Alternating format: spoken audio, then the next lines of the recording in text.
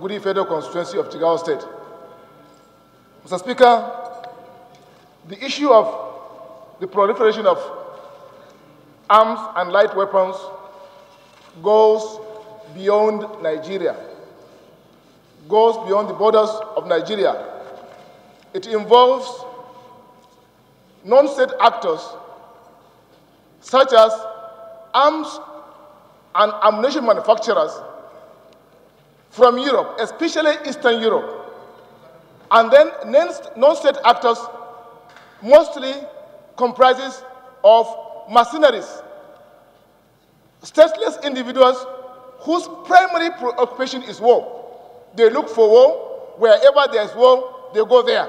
If there is no war in Nigeria, they will locate to Burkina Faso. If there is no war in Burkina Faso, they will locate to Niger. If there is no none in Niger, they will locate to Chad. These are mercenaries whose profession is, is just fighting war.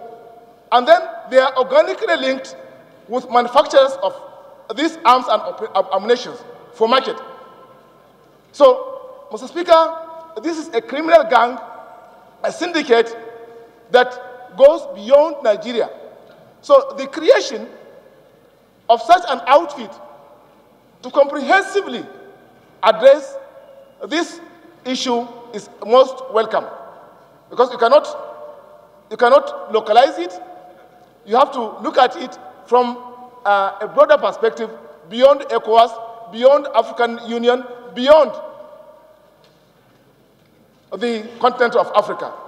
So, Mr. Speaker, I support this, the creation of this commission to comprehensively address this issue. Thank you very